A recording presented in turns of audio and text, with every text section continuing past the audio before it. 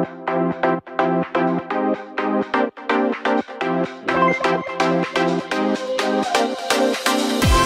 back.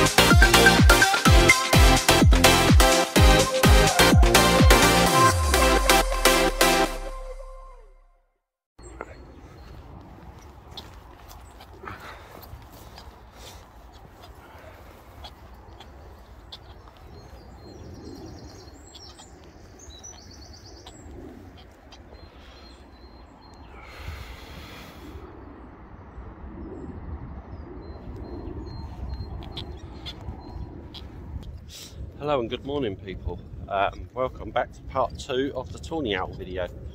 Um, I'm going to do this in several parts, um, but as I said in the previous one, it will come three to four weeks, maybe five weeks apart parts this part actually, um, so I can spread out my videos um, just to protect the owl's location.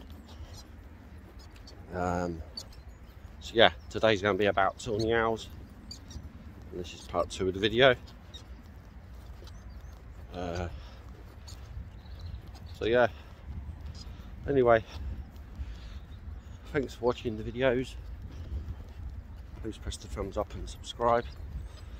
And I will see you in nature sometime soon. Bye for now.